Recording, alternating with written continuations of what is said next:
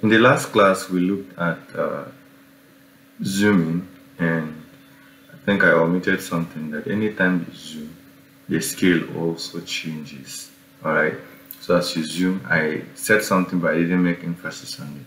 So only when you're using pan that the scale doesn't change. Like it's more like suspend other things. But this we're going to be in this video we're going to be looking at um, another tool that does not change uh, as you zoom in to look at something. So we're going to be looking at magnifier.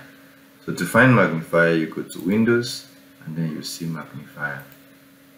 Alright, this magnifier, if I'm interested in seeing, let's say any local government at all, so I have to move to that place.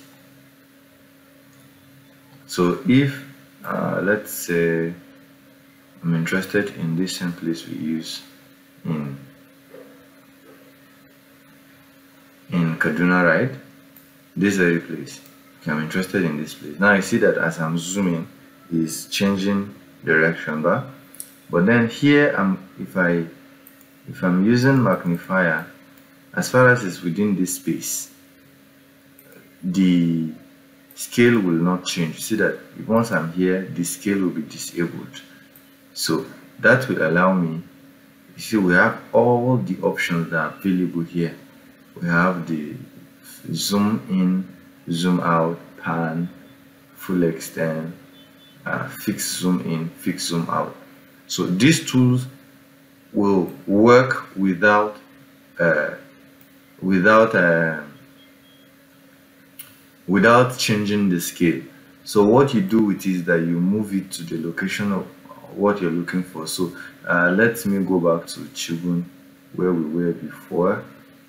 Where is Chikun now? I can't see because everything looked tiny. Okay, see Chikun here.